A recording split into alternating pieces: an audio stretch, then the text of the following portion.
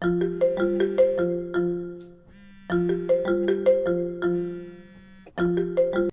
Jules.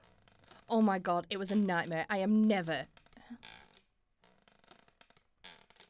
I'm never agreeing to a blind date again. So, I said we should meet up at the little wine bar on the edge of town. You know which one I mean? No, no, the one near the train station.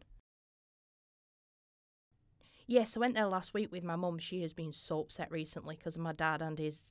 Anyway, back to the date. We had one drink, which I paid for. Then he asked if I wanted to get some food. You will never guess where he took me. Nope. Nope, worse. We went to the lovely, romantic McDonald's. Stop laughing! No, all right, come round for a brew and I'll tell you all about it.